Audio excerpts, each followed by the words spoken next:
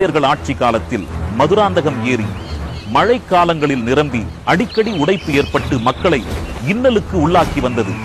இந்நிலையில் ஆயிரத்தி எழுநூற்றி தொன்னூற்றி ஐந்து ஆயிரத்தி எழுநூற்றி தொன்னூற்றி எட்டு காலகட்டத்தில் செங்கல்பட்டு மாவட்ட ஆட்சியராக இருந்த ஆங்கிலேய அதிகாரி பிளேஸ் மதுராந்தகம் ஏரியை பார்வையிட வந்தபோது பொதுமக்கள் ஏரியை காக்க சோழர்களால் கட்டப்பட்ட ஸ்ரீராமர் கோவிலில் உள்ள ஸ்ரீ ஜனகவல்லி தாயார் சன்னதியை செப்பனிட்டு தருமாறு கோரிக்கை வைத்தனர்.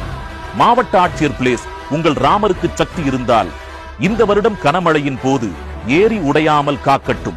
அப்போது உங்கள் கோரிக்கையை நிறைவேற்றித் தருகிறேன் என்று கூறினார். அந்த ஆண்டு கனமழையால் ஏரி நிரம்பி எந்த நேரமும் ஏரிக்கரை உடையலாம் என்ற நிலை உருவானது. அன்றிரவு ஏரியின் நிலையை பார்வையிட ஆட்சியர் பிளேஸ் வந்தார். அப்போது திடீரென்று ஒரு மின்னல் வெட்டியது.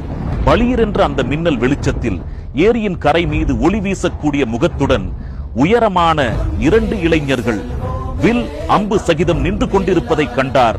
அவர்கள் இருவரும் ஸ்ரீராமர் லட்சுமணர் என்கிற தெய்வீக உணர்வை அடைந்தார்.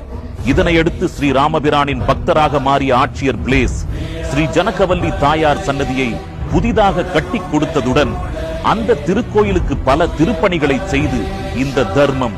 கும்பினி ஜாகிர் கலெக்டர் லியோனல் பிளேஸ் துறை அவர்களது என்று கல்வெட்டும் வைத்துள்ளார். இப்படி தாய் தமிழ் உறவுகளை காத்து தமிழர்களுடன் இரண்டர கலந்து போன பகவான் ஸ்ரீராமருக்கு